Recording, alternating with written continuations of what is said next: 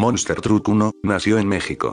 Debutó como luchador en el año 2005. Su nombre de luchador sería Monster Truck 1. Es hermano de Monster Truck 2. Ha luchado en muchas partes de México. Ha estado en luchas de apuestas como cuando, junto a Monster Truck 2, vencieron a Venta Romkin, y Venta Romkin 2, para desenmascararlos en 2005, junto a Cíclope, vencieron a Venta King y Venta King 2, para quitarles la máscara y la cabellera en 2006, entre otras.